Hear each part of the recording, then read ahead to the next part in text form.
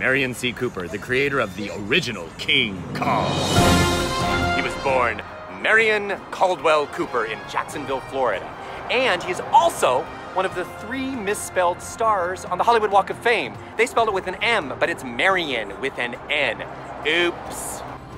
Merian C. Cooper was quite the adventurer. He was a World War I bomber pilot. He was a member of the Explorers Club of New York City.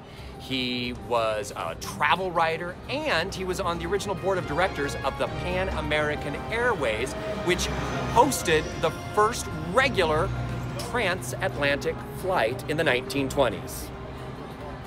He resigned from Pan Am when the movie bug hit him. He and his pal, Ernest Schoedsack, in 1925 helped make a documentary called Grass. He had this dream that a big giant gorilla had taken over New York, and he decided to write that screenplay in the years 1929 and 1930 and then hoped to get it produced. The Great Depression hit, and it took a while to get this film made, but it finally came out in 1933, and it was a box office success during the Great Depression.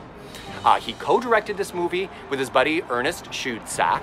It was stop animation by Willis O'Brien, and of course it starred Fay Wray. Fun fact, it was filmed on the same jungle set as A Most Dangerous Game, also starring Fay Wray.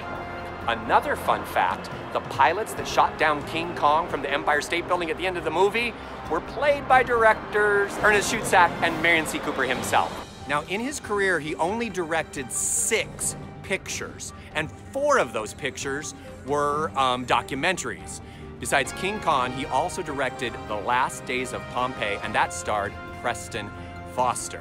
Now, most of his career, he was a producer, and he produced such famous films as Morning Glory and Little Women, starring Katharine Hepburn, and Flying Down to Rio, and that was the first pairing of Fred Astaire and Ginger Rogers. He also started Argosy Pictures with director John Ford, and they worked together many times.